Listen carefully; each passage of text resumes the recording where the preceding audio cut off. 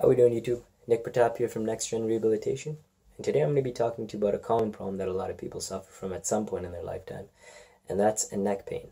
Now, there's a lot of underlying causes that may cause neck pain, um, some of which include uh, posture, so being at a desk all day, getting into this hunched over position, driving for long periods of time, again, getting into this rounded kyphotic posture, uh, sleep patterns, so sleeping the wrong way on our neck, so I'm going to be giving you a couple basic stretches today that you can try out, see how they work, and we'll take it from there. All right, so the first stretch is going to be for our upper trap muscle, so right down the side of the neck.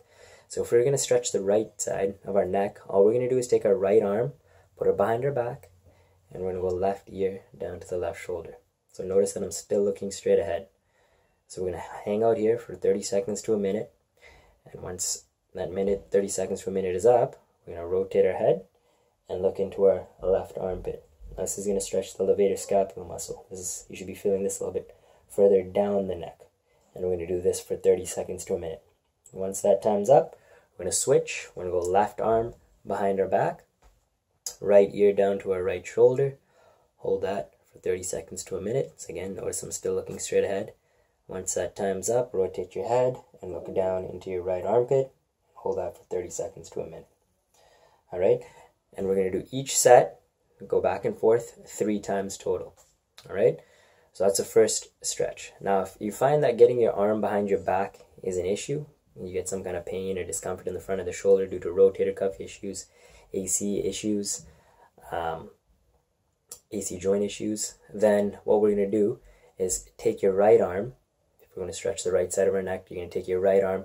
You're going to reach straight down with that arm, and with our left ear, we're going to tuck it down to our left shoulder. Again, you're reaching down with your right arm. We're going left ear to left shoulder. Hold for 30 to, to seconds to a minute. Rotate our head and look into our left armpit and hold that for 30 seconds to a minute. And that's just a little bit of a modification if you do have any issues in the shoulder joint. And you'd be doing the exact same thing.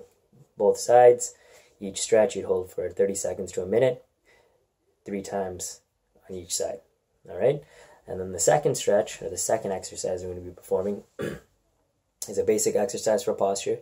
Now, all we're going to do with this exercise is we're going to rotate our wrists so our palms are pointed forward. We're going to pull down on our shoulders. We're going to pinch our shoulder blades together, and we're going to do a chin tuck. Drive our head straight back like we're making a double chin. We're going to hold for three to five seconds. So notice my double chin, I'm not looking up, I'm not looking down, straight back. Okay, keeping that chin parallel with the ground.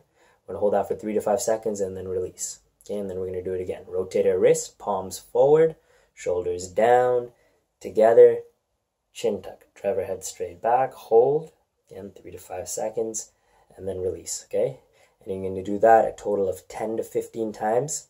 Okay, you're going to perform one set, that should be fine.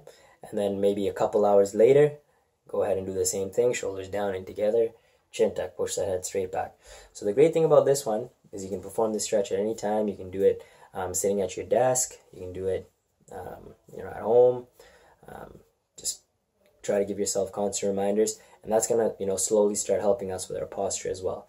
And there's some posture videos that I'm going to be making in the future, so I'll be looking out for those. Other than that, hopefully this video helped you out. If you have any comments, please leave them below like the video. If you know someone that would benefit from this video, please share it with them. And again, just send me a comment if you, there's any specific videos that you want to be seeing in the future. And until next time, this is Nick Pratap from Next Gen Rehabilitation. You have a good day. Take care.